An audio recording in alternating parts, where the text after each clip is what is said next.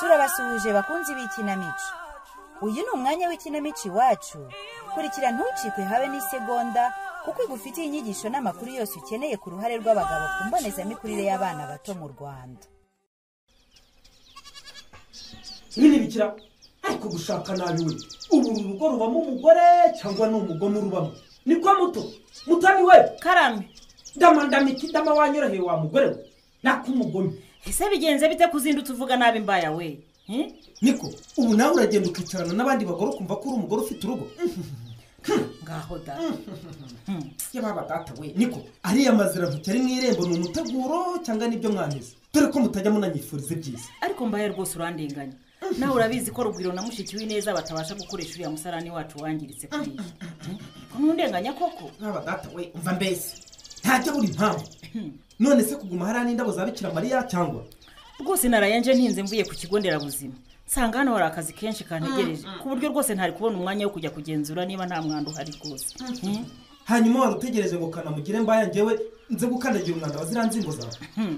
Nuko ye ubu si ibintu ndenganya amakosa si ayawe wanga gutanga amafaranga ngo twubakishe umusarani wujuje ibyangombwa. Umva nakubwiye ko ntashobora gutanga amafaranga yanjye ngo nyamarire mu musarani. Aho gucuruza ngo amafaranga nyamarire mu musarani koko? Hmm? nkaho nzabikamo imari? Umva ndetse reka nigendere mutavaho muntera umwaka asikigabanywe ese kugiye hari n'ibindi nashakaga kukubwira mba? Ibindi umbwira ni ibiki ariko mba kuko urukundo rwawe rwagiye? Ubwo koko wanze kumerekeza ku kigo nderabuzima? None habe no kumbaza uko byagenze koko? Ibyo na byo ni umwaka ariko ye. Sinakwiyamye kumbwira ibyo nda yawe utwite kandi na byo nari narabikubujije.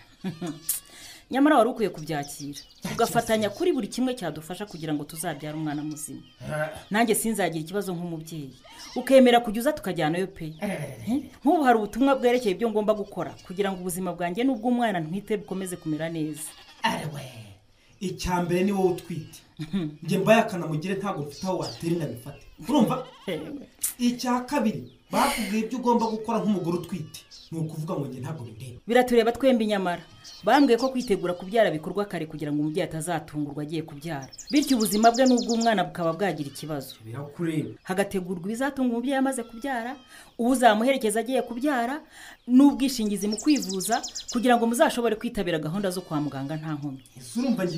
Bityo umubyeyi utwite agakurikiranwa n'abaganga bakazamurinda ingaruka zituma atakaza ubuzima bwe n'ubw'uwo atwite. Ashyega abandi we.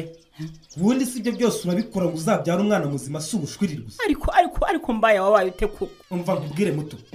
Ni impamo ya mungu. Niba ushaka kwitaho nk'uko umaze kubirondogora uzashaka undi mugabo uzajya kwitaho ariko ngewe kanamugire mbaya ibyo sinabikora. Ugize ngo iki kanama? Mba ndoga data. Ugize ngo iki koko? Mana yanjye we. Ngewe mvuga nka radiyo ntawe ujya nsubirishamo ubu nzagire nte koko ngo mbaya nimba nshyigikira n'ukuntu inda zijya zingwa nabi. Ubona nzabivamo tudafatanyije koko? Mana yanjye.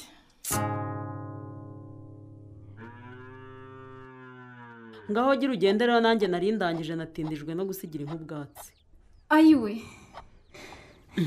cyore ngaho. Bigenza bite se kandi ko wicaye? Ndumva ntameze neza. Ndi kumva mfite ikizungera. Wabaye ikize nanjye simbizi rwose sinzi ikibazo mfite. Numvise biza gusa. None se kanya uko nzi ko ibi bintu bidasanzwe bikubaho ko nanjye birantunguye pe kandi ndumva mpise ncika intege mu ngingo hose. None se ko wowe wari ubizi ko utameze neza kandi ugakomeza kwitegura ngo ujye ku ishuri? Ntiwari kuguma ahangaha byakomera umuntu akakujyana kwa muganga koko? None se ubu ngubu ko ari bwo mbyumvise ubundi numvaga rumeze neza rwose nta kibazo. None se urumva umeze nabi cyane ndeke kujya gukora nkujyane kwa muganga? Nyine ndumva ntameze neza. Ariko nyine biraza gushira nta mpamvu yo kujya kwa muganga. Aho ntimuyumvire uyu mukobwa ara uravuga ko utameze neza. Warangiza ngo si ngombwa kujya kwa muganga. Uzi ikibigutera se? Oya ntabwo ari ngombwa rwose. Nta nubwo nzi ikibintera. Cyo rero ngaho subira mu nzu ugenda ukuremo imyenda y'ishuri uryamye reka ndagerageza kugenda. Ibyo ari byo byose nyine ntibitinda biraza gushira. Ubwo se ugeze mu nzira ukaremba byagenda bite muko urashaka kugwa ku muhanda nta muntu muri kumwe? Mwiriwe kwa gafurama yego. Ese ni wowe debu? Usanze ndimo ndwana n'utu dushwi twanzengereje. Ndeba se turi mu nzu y'inkoko? Nyine nari ndimo ndwana natwo ngira ngo dushyire hano mu kazu. Ariko disi ufite ibikoko byiza. Ni byiza pe Mm. yewe yo disi nanakurangaranye Mm. reka nkuzanire agatebe ushyikeho debura we. Oya kwihorere rwose mukaruko ese ko uburyo uri buva ahangaha mu rugo uticaye di oya rwose bwira shama ze dutahe dore rwose yagomye kandi hari imirimo yagombaga gukora. Shami? Ariko nawe nyine nk'umubyeyi ntuzajya ubona umwana yatinze iwawe uzajya umukebura nyabusa umwibutse gutaha. Ngaho da. Shami se uvuga ngo yatinze gutaha yigeze agera hano uravugisha ukuri mukaruko ni ukuri kw'imana da. Ariko ati urambeshya rwose. Cyangwa urashaka kugira ngo akomeze yikinire na sumbiri wawe. Disi mubwira ze dutahe dore amasaha yakuze. Ni ukuri kw'imana sinkubeshya debu shami ntawe wigeze agera hano rwose. None se uyu mwana ari hehe disi we? Simbizi pe. Ubu rwose numvaga ko byanze bikunze agomba kuba ari hano kuko nzi ko ari inshuti ya sumbiri wawe. Yewe ntawe rwose. None se warebye no kwa mbaya ngo umenye niba ataba yagiye gukina na wa muhungu we rugwiro? Reka reka rwose ibyo ntabwo bishoboka. none se niba waramubujije kujya kwa mbaye ubwo uzi ko abana ibyo ngibyo babigenderaho? Umwana rwose kumuzi icyo akunda ni ukwiruhiriza ubusa. Uko namubujije kujya kwa mbaya? Ahubwo nawe ubwe ntabwo abishaka ntahakunda kuki none se ubwo ntahakunda gute kandi hariyo mugenzi we bashobora gukina? Icecekere sha mukaruko uzi ukuntu uriya mwana wo kwa mbaye iyo shama agezeyo ukuntu amuserereza ngo ni nyamweru. Kuko se? Ayiwe. Mm, ni na yo mpamvu shama adakunda kujyayo rwose. Biramubaza cyane iyo uriya muhungu wabo amaserereje. Ayiwe ariko rero buriya ntawe wamenya iby'abana. Burya ntabwo bajya babika inzika aha ndanyurayo ndebe ko ariho yagiye. Nyamara byashoboka ko ariho ari genda urebe. Aho reka ngende mukaruko ariko rwose ubu ngubu ntangiye kugira impungenge n'ubwoba. Ariko se ubwo uragiye ko kutaretse ngo tunaganire tumene habiri di? Niba ari umwana hari ubwo ateze kurara ku gasozi? Ariko mukaruko karame. Ubu tuvugishije kuri koko. Mm. umwana ari nk'uwawe akaba amaze amasaha ane yose utazi aho ari. Ubu wakwicara ugatuza. Aro Freddy nkunda. Komera akanyange kera keza n'ijwi ry'umutima wanjye ukanezerwa. Nibyo se? Urabivuga urabizi sha. Ubundi ngize uwo numva kuri iyi si muhuza ijwi nahita amenya ko abamarayika bakanagiye kuri iyi si ya rurema. nawe urankabiriza Freddy uzi ko uba ugira ngo mere amababa? Yo ibaze uyameze maze igihe cyose ngushakiye ugahita uguruka ukangeraho cyakora urukumbuzi rwajya rushira vuba. Kanyange kera keza. Ni ukuri nguhamagaye ngira ngo nkushimire kuko ibihe byiza twagiranye sha ni ukuri wandyohereje. Na n'ubu ndacyumva ibyishimo ari byose. Sheri ni ukuri warakoze sha Freddy ntiwakumva ukuntu nanjye nishimye cyane ko wamboneye akazi mu mujyi. Nta kintu nyine wari kunsanga ngo nanjye nkikwime reka shabira nta birimo birenze. Ehe ngewe maze ndi kumva ari igitangaza. Sinjye uzarota igihe kigeze. Ngo nigire mu mujyi maze ibi byaro mbisigire ba nyirabyo rwose. Ibyo se? Iyi ngomba kuzava inaha ntikoraho. Ku buryo n'igihe nzajya ngaruka kubasura buri wese nyine azajya avuga ati genda kanyange rwose uba mu mujyi ese ko ndi kumva ihene zihe biba ku mworoye ihene si uko tumaze igihe dukunda nzi ko wiga ariko ntazi ibyo wiga. Wiga ubuhinzi n'ubworozi se kanya? Sha Freddy ntabwo nagiye ku ishuri uyu munsi. Uzi ibintu byambayeho? Byakugendeye bite se kanya? Nabyutse nditegura ngiye kugenda numva ikizungera kiramfashe. Sinzi icyo nabaye rwose. Ubanza ari ya nzoga naraye nyweye iwawe yabinteye. Yo ihangane sheri wanjye. Uraza kumera neza. Urakoze mukunzi mwiza. Sha nkunda ukuntu unyitaho umbwira utugambo twiza. Kera numvaga abakobwa babita ba sheri nkibaza niba nanjye ibyo bihe nzabigira nkagira umuntu unyita sheri nyine none narakubonye. Erega ababikorera umukunzi wanjye umwe rukumbi ari we kanyange niyo mpamvu nanjye nzagukunda iteka ryose. Wumva se ahubwo se kanya waza kukureba nkareba uko umeze wasanga ari uko ufite wambona rugakira sha Freddy uzi ukuntu byanshimisha? Gusa ikibazo mfite ni kimwe. Ikihe se kanya muramu wanjye uba arahari kandi urabizi nyine ukuntu amfuhira. Oh la la. Dushaka ukuntu tubigenza rero. Ngaho mbwira sha nanjye ndumva nkwikumburiye cyane. None se tubigenze dute kugira ngo tubonane? Ikihute se kandi? Urigendesha ufite nubona amasaha ageze? Mama biraremereye ama aho ni mu ndorera. Niko rugwi uratinyuka gukubita hasi ibijumba nta soni. Ikorere se nanone nyine tugende. Mama uri kumbabaza ku mutwe. Ni byinshi uwakumva uko uvuga imbere y'isahani. Ko nakugaburira ngo uvuge ngo guhaye byinshi? Ariko nakubwira kwikorera ugatangira ngo "Eeeh, mama. Dore ngaho nikikorere se vuba amazi ki njyewe ibintu sinzongera kubyikorera umva mbese ntibyakirya ugaramye gusa. Ubu se nubona ko njye nikoreye amazi n'inkwi uragira ngo bitwarwe nande se Hmm? Mugomba gukora namwe di ntabwo ngomba kuba umucakara wanyu. Nirirwa ntunekwa. Na so mbaye adashaka kumfasha. Nta soni.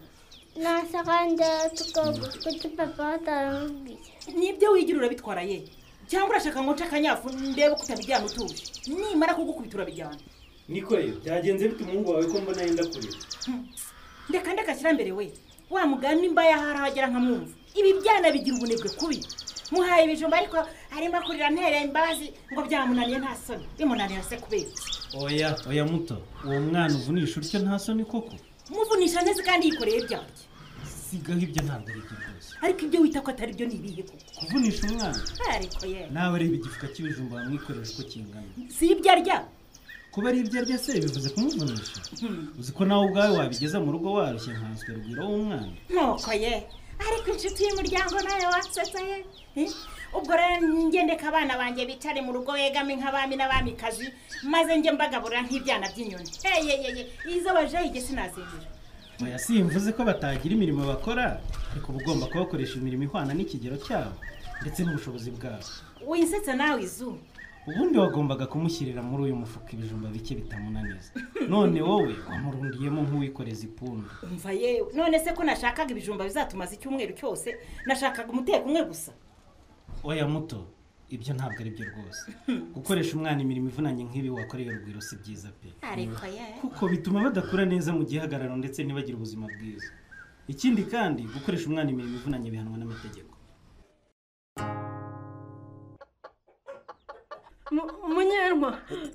Yo ngize amahirwe uraje rwose. Urakoze kuza pe. Munyerwa nabuze icyo nkora. Nabuze icyo nkora rwose. Byakugendekeye bite debo? Oya ndeka munyerwa. Umugore mwiza rwose ko mbona warize aho uvuye byagenze ndahangayitse cyane pe. Hari uwankoreye ku mugore ngo nitegure intambara? Umva mbwira neza niba hari uwakugiriye nabi rwose. Umva ntacyo umva um, rwose debo ntabwo ari bunkire ngewe munyentwari ntawangiriye nabi yewe. Ntawangiriye nabi. Warwaye se? Oya birarenze pe. Ntabwo namubuze. Sinzi aho yagiye Ngo? rwose. Amaze amasaha atanu yose namubona hano umunyantwari we. Kandi nazengurutse mu baturanyi bose ntamubuze rwose. Uravugisha ukuri cyangwa urashaka kumva icyo mvuga Ndavugisha ukuri debo? munyantwari rwose. Ntabara ntabara. Tuzi- ariko ibyo ni ibiki kuko wa mugabo we ntugafate ibintu byose mu buryo bworoshye. Ubu kuko natinyuka kugukinisha kuko nsanzwe mbikora. Ntibyumvikana ukunze ikoshamo umwana wacu adakunze kuzira se ubwo byaba byagenze bite bahungu munyantwari we ubwo ntuzi ikimpangayikishije kuruta ibindi. Ni igiki se? Ni igiki umva.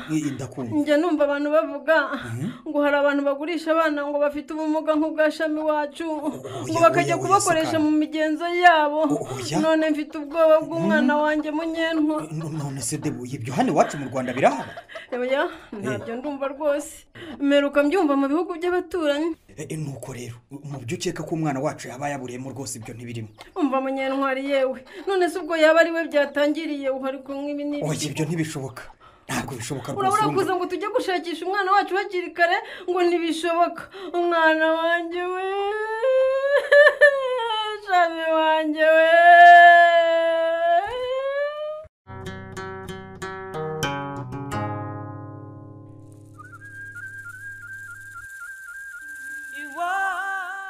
Aha ni ho ikinamico iwacu igice cy'uyu munsi kirangiriye. Ntuzacikwe n'igice cy'ubutaha.